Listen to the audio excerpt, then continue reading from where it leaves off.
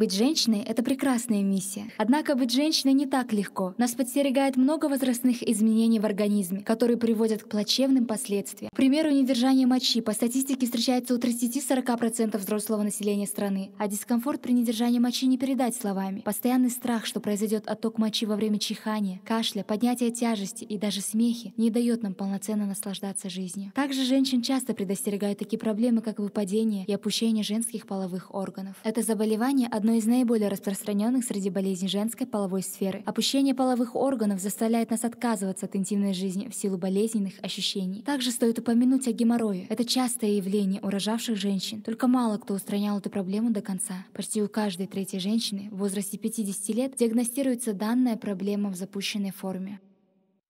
Хочешь проверить, как это работает? Запишись на бесплатную тренировку. Оставь свой номер телефона в форме справа, и наш менеджер запишет вас на ближайшее время.